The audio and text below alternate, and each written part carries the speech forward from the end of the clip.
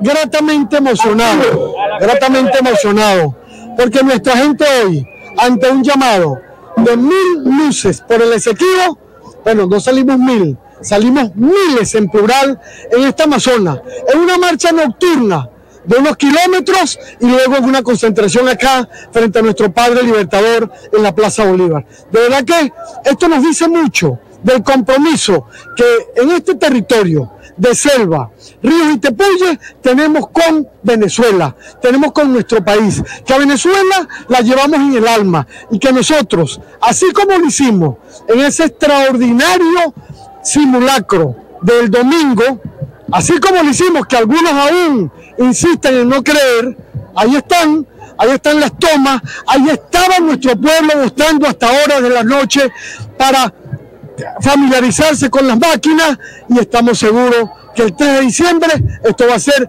apoteósico. Ya Venezuela decidió, nosotros vamos a defender el territorio, pero nosotros quiénes somos, todos, todos los venezolanos, sin distingo, no estamos llamando a nadie en particular, no estamos llamando a un partido en particular, todo lo contrario, estamos llamando a que todos los partidos se movilicen por Venezuela.